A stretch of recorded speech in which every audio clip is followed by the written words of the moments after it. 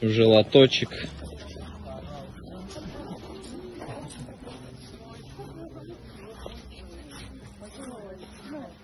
Огромное спасибо. Платок у нас есть.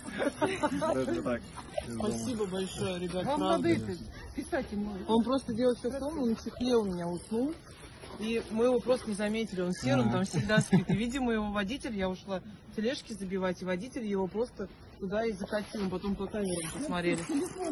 Да, да, мы уже заказали ему ошейник такой. Волонтеры пишут, посмотрите, посмотрите, посмотрите, посмотрите. Господи. Спасибо, ребят, огромное. Спасибо.